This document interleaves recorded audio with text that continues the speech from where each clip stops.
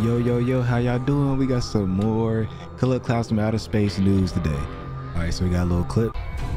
So we have the clown. Hands off me! And his fatality with the pies.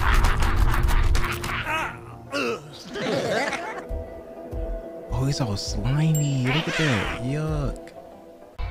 Yeah, there was a cherry on top. Get your four Does it hands off me! But yeah, man, let me know what y'all think of this clip, man. I seen it on Twitter. I got the notification, man. I had the I had the Noties on, Nodie gang out here. I seen it. I said, man, I gotta post this on YouTube, man. So far, this game looking really good. I'm hoping to get more from PAX East. Like I, I made a PAX East video, um, the one before this one. So hopefully we get more stuff. Peaceable, okay, but I'm out. Clowns are here. Clowns are now.